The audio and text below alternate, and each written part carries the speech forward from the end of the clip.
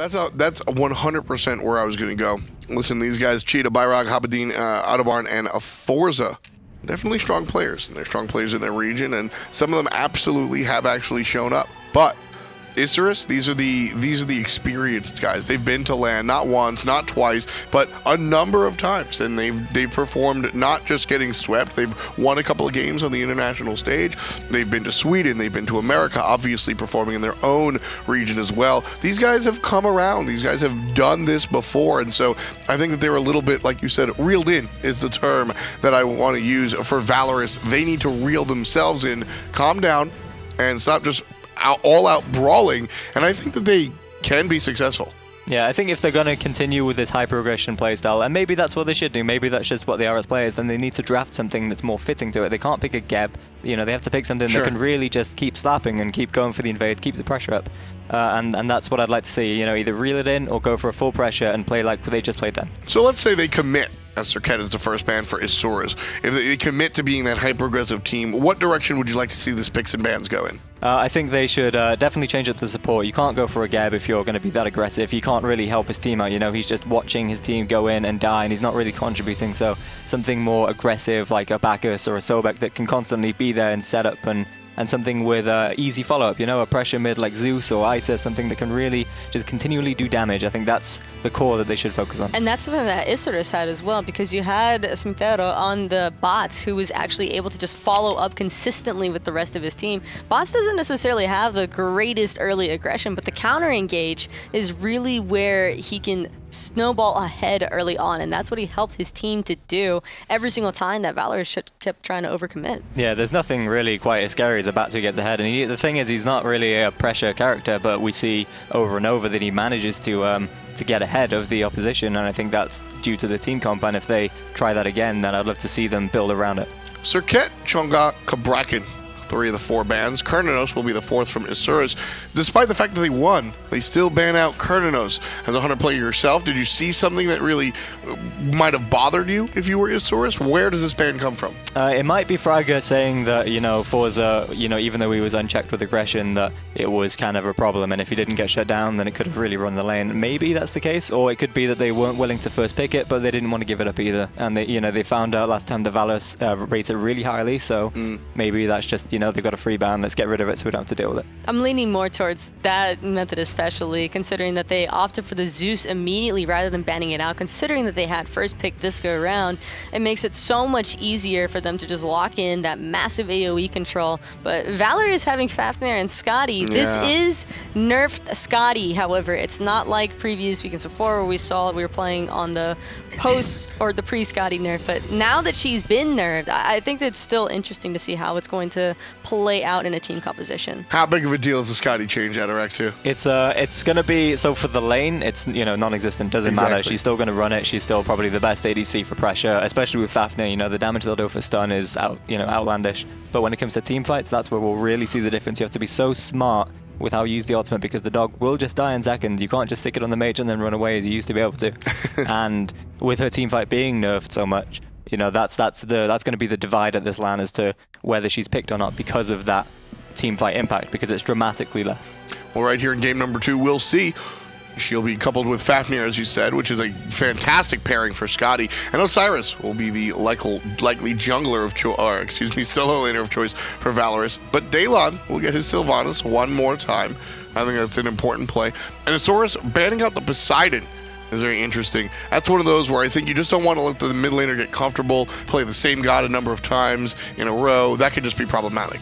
I think they're recognizing Valorous have gone for a very slap pressure, you know, character. All three characters right now are very good at fighting without their ultimates, and they can just keep uh, right. uh, keep the pressure on. And I think Poseidon would add to that in that he's a you know he's a high clear mage and he can follow it pretty well on Fafnir. So I think that they're going to target mid laners who are pressure to me, you know, kind of reel it in so Hun Batz can get online again. And a lot of times Valorous was also trying to play off pretty heavily from their solo laner. So if they give Cheetah something that has all that early aggression, such as an Osiris, which we've seen have very dominant laning performances that helps him lead into that mid-late game stage where he's just a giant target kind of slapping and walking at you, which can be incredibly problematic for a Zeus. Yeah, they're really thinking about this last ban. I think yeah. it's going to be another solo laner, something they're not wanting to deal with. Uh, you know, and I think that's a smart thing. I think that's definitely the, the choice to make here. Mm -hmm. All the other ADCs that are open right now are kind of low impact, and it's only if they get farmed that really matters. So I, I really hope they go for a second solo lane ban. How do you feel about a Rom here on the side of Isurus? I think Rom is Rom is never bad. You can kind of slot him into any team comp, and you know, especially at LAN when the snipes are kind of easy to hit. It's uh, it's pretty you know pretty awesome. He goes well with Sylvanus. He's high clear, so they can take the jungle buffs, and and and he's gone. You know, you called it. That's uh, it's definitely it definitely reduces that late game pressure that Isurus could put out. Yeah, it's a very strong choice from Valorous. As you said, he's plug and play. You can put him into virtually any team composition. Everybody's eyebrows just went up. Zhong Kui gets banned out versus Valorous. Uh, this is more of a, this is less about Zhong Kui being super strong at the moment and more about Zhong Kui just being one of those pocket picks uh, for Haboudin. He does like the the uh, tanky mid laner, so taking that away from him will be a nice choice. And Medusa will come up. Medusa and Skadi. Likely to see Dusa in the mid lane, but who knows? At that shots right there to Isurus Hunter. They do not want to permit yeah. Fragger on the Medusa yet again. But this also kind of leads Valorous into needing to pick some kind of magical compensation. So I, I, I would lean more towards potentially an Ymir or an Athena even. I know that these LATAM teams, they like having the global presence from Athena to compensate around the map, but my main concern is for Valorous would be their burst damage overall. Yeah, this is a really, I feel they've drafted themselves in a bit of a corner. You know, Cabrakan's mm -hmm. gone, so I get there is the Morrigan, but it's still a very low magical power comp, and if they if they itemize physical heavy, then they're going to be in trouble here, I think. Yeah, I think Fafnir Skadi came out and that there was a plan of action, and then Osiris was just sort of okay. We know that you can play Osiris, so Cheetah just do that.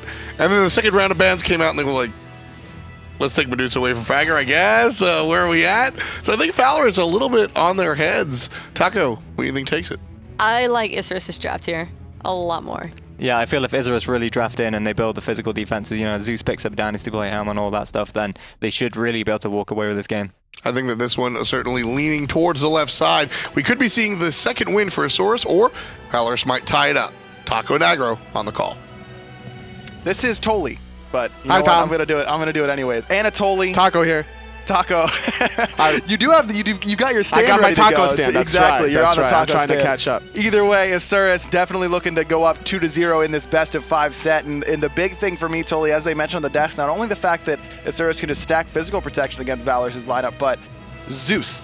Isurus yes. has Zeus, and it's specifically Kha'Zix has Zeus. And it's in conjunction with Daelon Sylvanus yet again. That's going to be a lot of control. You have the Suns from the Hou Yi. I love the area of control from Isurus' game and the Hun Batz. But the Hun Batz, I think, is what sparked the Morrigan pick coming out of Valorous, mm. wanting to grab that Fear No Evil for themselves. They have a decent amount of control with the Fafnir ultimate, and if Morrigan decides to go into any one of those four gods that have that huge AoE ultimate from Isurus. That's a great point, actually, that Fear No Evil going to be working against both sides, basically. But for me, it's a 3v3, gonna be tough. Kha'Zix gonna hit that chain lightning in mid, but Cheetah's coming around the back. It's gonna be Kha'Zix who's gonna be the first to fall. Smitero is gonna pick up Byrock, but Cheetah picks up an early double kill for that rotation around the backside. Valorous takes the 2 to one lead in kills before minions spawn. So remember how I said Cheetah had the best possible situation last game on the Vamana? I believe you did.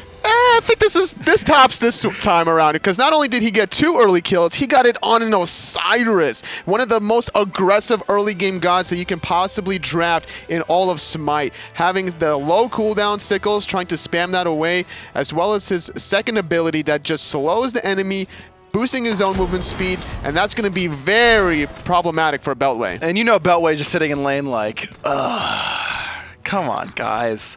He just gave two kills away to Osiris. Now I just have to sit under my tower the whole game. Smitero is going to have to come over and help him out with those buffs on the right-hand side, but Valorous certainly looking to get off to a better mid-game. They got off to an early start last game, like you mentioned, but didn't translate very well once the 3v3 fights in mid started happening. Valors are going to need to lean on the solo jungle side. You give the two kills to your soul laner, sit in that lane. Don't alleviate any pressure, especially against a Nike that's revolving their strategy around getting to that late game, trying to get all three stacks of those passives. That's true, but once Nike hits level 5, she is one of the harder solo laners to kill, even for Byrock on this Morrigan. But but you could see a, a stun into the transformation into Hun Batz for the Fear No Evil. There is plenty of lockdown to try and make sure Nike doesn't get that ultimate off. Although I agree with you that it is going to be very difficult to kill Beltway on the Nike, you don't necessarily have to confirm the kill. You just have to get her out of the lane so that way she's low enough to the point where she can't really rotate from her tower towards those jungle side buffs. And that gold that you get from stealing that away from Isurus is just going to skyrocket Valorous into not only that gold lead, but that important experience gap. Getting to level 9 here for all these players out of Valorous is going to transition them better in the mid game. Forza and Atarban hanging out on this left side, trying to keep the pressure on to the enemy duo lane. You heard Ataraxia say on the desk that despite Skadi taking some nerfs recently, namely the big one to her ultimate, Kaldr no longer completely immune whenever that ultimate goes off, just a full heal up to up to full health. Skadi's still as good as it gets in terms of lane control in the, in the early game. And it's still a Doge that's going to be running at you full speed, trying to get that damage. And that damage is very respectable. The dash is going to get that first hit, and that's the difference of towards winning a boxing engagement between the Hunters or losing it. Without a doubt. Fragger uh, playing this Hou Yi this is a character we've seen a lot more of recently, Toli. Why did Hou Yi kind of drop out of the meta, and why are we seeing more of him now? It's not necessarily that Hou Yi has ever dropped out of the meta, it's just more other hunters have gotten back into the mix of things. We're seeing more ROMs to deal with the Skadis. You know, Skadi just basically came out of nowhere. We haven't really seen too many unorthodox picks in terms of a Muzen or Artemis, but that has been experimented by other hunters. Oh, there's the transformation from Byrock, but doesn't get the Fear No Evil off before Smitero jumps away. The idea was there for Valorous. The execution was not. Not quite available. And playing on a land setting, it's very easy to adjust your reaction time to be able to jump away or to purification away from that Fear No Evil. So Smitero, he recognizes his own kid. He knows that once that jump happened from Byrock, he's like, okay, here comes the Fear No Evil. I have plenty of time to jump away. And he's got his jump of his own, exactly. Though it is one of those weird moments where you're like, hey, that's me. What am I doing jumping on me? but Smitero it has the presence of mind to jump away in time. Not only was that Changeling used, but the Petrify from Hadobin as well, trying to double down onto the enemy jungler. So both of those ultimates on cooldown for the time being. And with buffs due to respawn shortly, this could be an opportunity for Isurus to invade. Absolutely, or at least to not get invaded on because Valorous does have that advantage in the soul lane. Just now finishing off the Warrior Tabi is Nike before, so getting jumped on. Nice stun. Bees being used to avoid the Suns. Trying to chase down Fraggers, though, taking a lot of damage from the dog. I don't think Forza has enough to use his ultimate, just trying to juke it out, waiting for some mana regen, but never gets it. Fragger finds the solo kill on the left-hand side side. It evens up Isurus and Valorous 2 to 2. And that's a huge advantage out of Fragger. This is the same point where he got that lead in the early game when he was the Medusa 1v2ing against the Cernunnos. There was just no real advantage for Forza just getting constantly taken advantage of. Oh, Cheetah used that Lord of the Afterlife to jump away. Smitero follows him, but a good stun on a Byrock prevents that Fear No Evil from coming out until he's able to get it off that time around. Byrock trying to get away, but the overhead smash will prevent it. Nazix cleans up Hadobin in that mid lane. Beltway still wants his kill on the Cheetah, needs the third hit of Rend, but decides to turn around and run with Atarban coming through the wings. A little bit of a disconnect from Beltway and Smitero, not wanting to commit under that tier 1 tower despite Cheetah having no mana. It's an Osiris with his passive fully stacked. That ethereal form with that 8 stacks, that's 16% damage mitigation on the physical side of things, 8% magical now. But in the meantime, though, Adobin did take a spill in the mid lane. Getting credit with that kill. The Lightning Storm was used, as was Wrath of Terra, so Hadobin never even got a chance to use his Purification Beads, it looks like. Definite, uh, definite lead for Nazix in that mid lane now, who's up a level and has that kill underneath his belt, despite falling to first blood from Cheetah earlier on. I love what Fragger's doing here. He has the one level advantage. He's got lane control, and with the mobility that he has with the Warrior Tabi, he's relying on putting a lot of pressure onto Forza Skadi, even stealing away the purple buff, giving him that two-level lead. And again, look at the ward coverage from Isurus on this left-hand side. That see, they, they have consistently been outwarding Valorous, and that's what's allowing Fragger to play so aggressive in this lane. Atarban made the rotation to try and relieve some pressure onto his Hunter, but Forza still only has Boots 1, indefinite trouble anytime Fragger wants to play aggressive. And anytime the support needs to make this rotation just to alleviate the pressure that the enemy hunter is doing onto you, sure, you can stop the pressure, but now you're sharing a wave, so you're not really getting any sort of stability. You're taking a net loss in the experience department,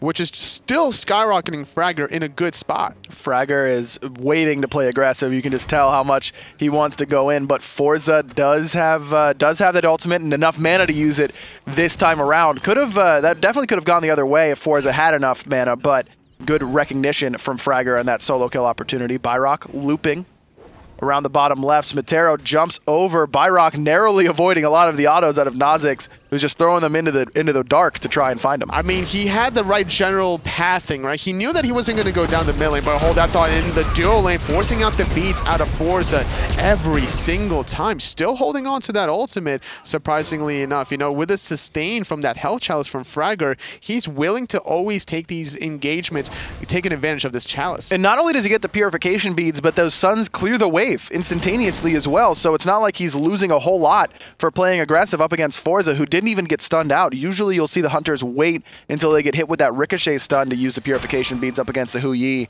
But Forza definitely on a little bit of an edge after uh, after being dominated by Fragger early on in this set. Trying to find any sort of advantage that Fragger can. They had the advantage in the soul lane for Valorous, but with those two kills, the Osiris is actually one level behind Beltway. Beltway with only one assist. It doesn't seem that the Osiris was really able to capitalize with any sort of farming potential, whether or not it was getting the elementals, the right side mid harpies, or any single buff invade. Usually Osiris is with that sort of lead can even go to the enemy back You know, just try and steal those away. But as you mentioned, Cheetah seems to have been content to just stay in lane and play it safe. But with the lead that he got early on, I don't, I don't know if that was necessarily the call. No, not quite yet. In the dual lane, though, the jungle side control from Valorous, though, they have a little bit of vision aggressively, which will spot out these rotations, but Smitero, he's jumping onto Forza, trying to do the damage. There's the Fear No Evil, but Forza does get his ultimate off in time. Byrock throws out a Fear No Evil of his own and jumps to Smitero. Forza, the one able to clean up that kill. Cheetah's teleported into this left side and gets the Purification Beads out from Fragger. This opens up the Gold Fury opportunity. Atarban already starting it up. Could transform into that dragon and give that AoE coerce. Beltway still in the soul lane. He could look for a teleport of his own. Gold Fury is sitting at about half health. Daelon trying to get in position for that Wrath of Terra. Five members peel off with the Gold Fury. Hits three with that Wrath of Terra. Daelon a little bit separated, but as the teleport comes in from Beltway, Kha'Zix being dove by Cheetah, but it's Kha'Zix with the level lead. There's the Lightning Storm, and it gets great value on the back. Fragger able to pick up one. Kha'Zix does clean up one with the detonate before Cheetah knocks him down. Double kill for Fragger, and it's only Cheetah left to try and get away from Beltway and Smitero, who has respawned. Getting back into it, they found four. Can they get the Deicide? The Tether going to buy a little bit of time as Smitero has to disconnect, and with that passive, taking a lot of damage mitigation, trying to get under the safety of his own tower, but taking the long way. Smitero almost with that Fear No Evil. I don't even think he's going to need it totally. Cheetah just getting as much farm as he can before he inevitably falls here. Beltway is going to be the one to get credit for it. 2-0 and 4 now.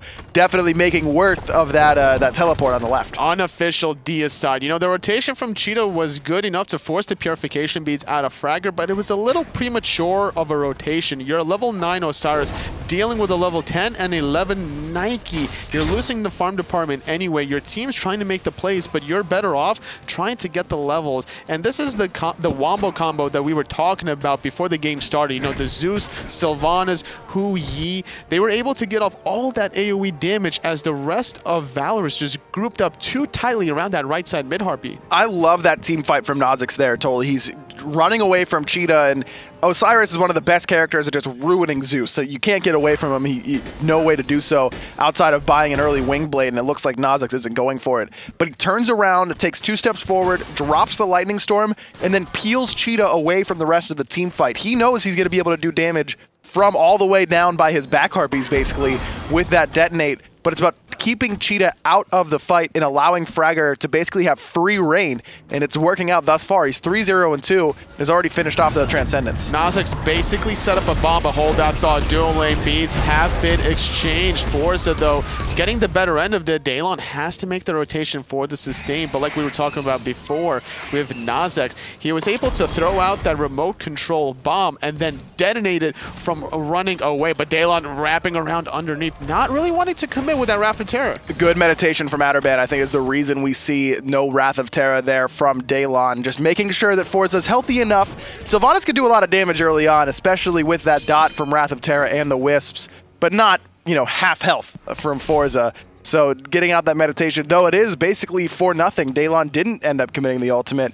So another win goes the way of Isurus. You know, Fragger did force out the beads there, trying to avoid the slow from the Suns. And if you do have the rotation coming out of Daelon Sylvanus, you know, the knock up into the root, into the pull after trying to get away, that's a lot of damage that Fragger can easily look for the setup.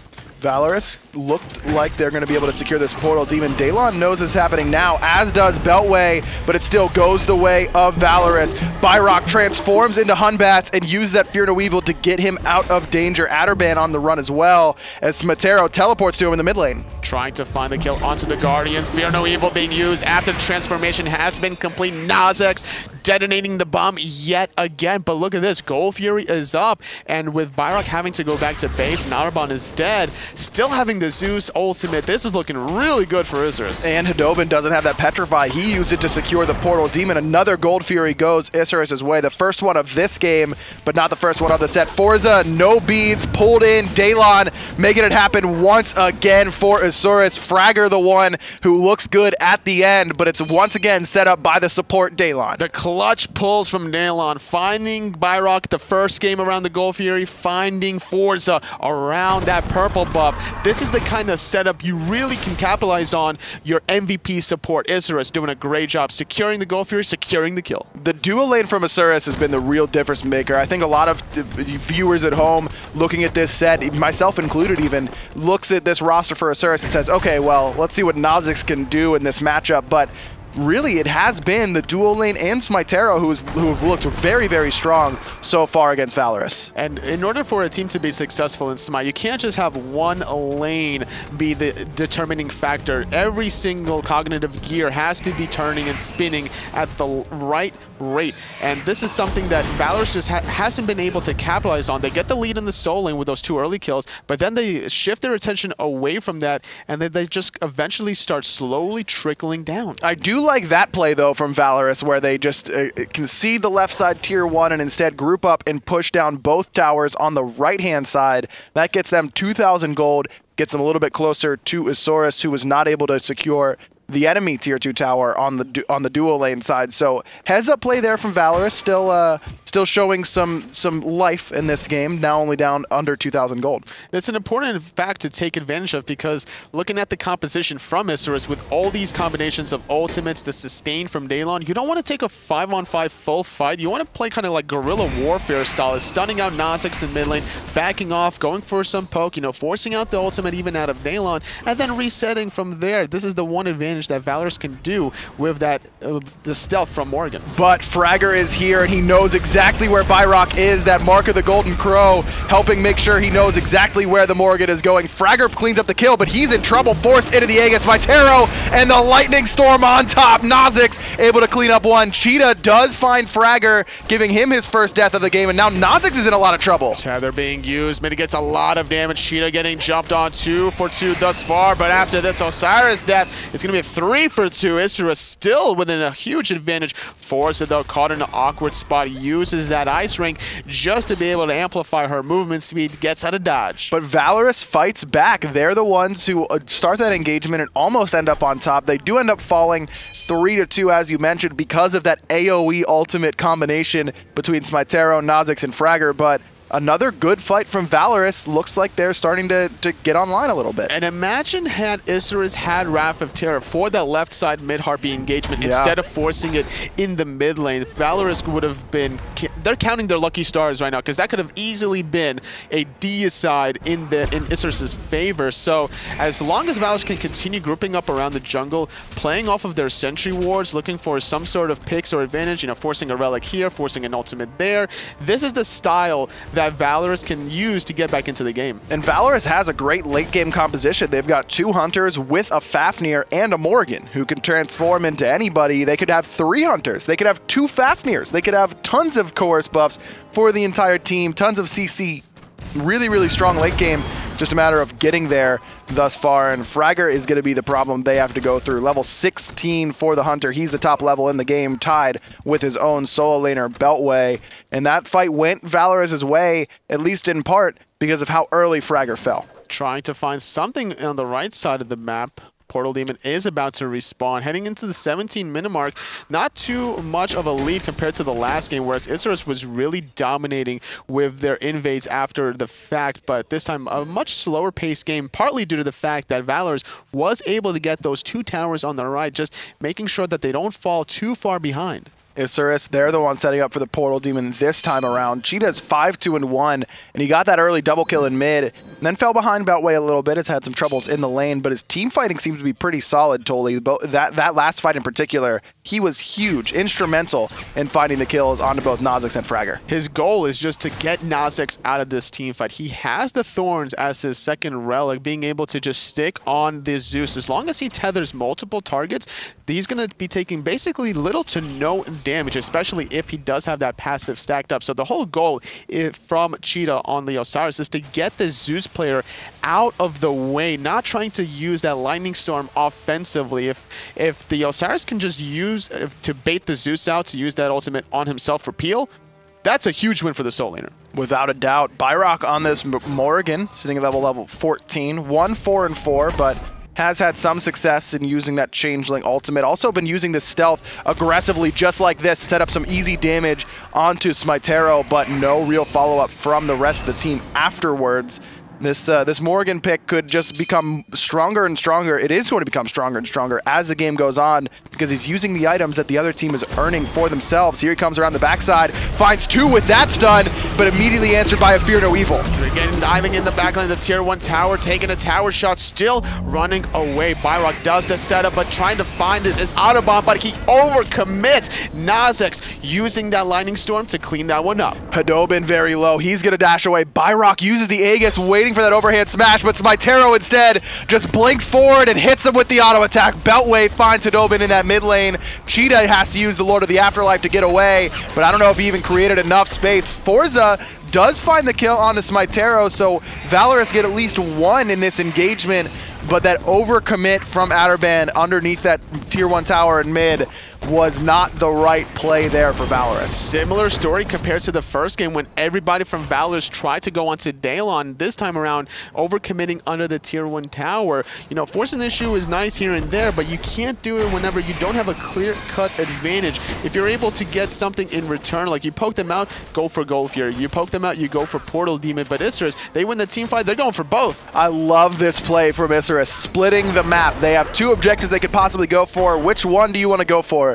Why not? Why only one? Why not both? Say Isurus. They get the Portal Demon, they get the Gold Fury as well. Fragger has enough life steal that Asi alone is enough to make sure that he can solo that Gold Fury comfortably, sitting at level 18 now with that Executioner as well. Really, really strong objective play from Isurus. I love the fact that Fragger is now going for the more traditional new style that Hunters have been employing in their builds, which is that Fatalis. You know, the extra 10 penetration is why a lot of these Hunters elected to go for this item, but not really deterred from that. Fragger instead going for a huge burst potential. Going to go for this Qin's Sais here after that Executioner. And this is going to increase his damage spike extra especially with that mark of the Golden Crow. Exactly, the chunk potential out of Hou Yi, one of the reasons he's so strong. Ricochet as well. We saw Emilito basically win a game for energy off of one Ricochet near the Gold Fury pit, so always has that game-changing potential, particularly in the early to mid game. Isurus has enough of a lead that they feel comfortable pulling this gold, this Fire Giant up about 5,000 gold, and look at how far zoned away Valorous is. Beltway keeping four members busy. The Lightning Storm comes out, and there's no way Valorous gets in in time to defend it. They do not. Isurus get away the Fire Giant without any contest. Atarban trying to zone out with that Draconic form, but Beltway doing the same on the back, forcing out Forza and Adobin. Daelon trying to maybe find a pull, but it's Otterbond that's caught in a between a rock and a hard place. Petrify comes out, hits three there from Adobin. Big Lord of the Afterlife hits three as well, and Byrox here with his transformation, Fear No Evil. Kha'Zix finds the detonate though, and that's going to spell trouble for the jungler and the support. Fragger notches number six as the Hunter. Cheetah, he's going to fall. Smitero finds his fifth of the game.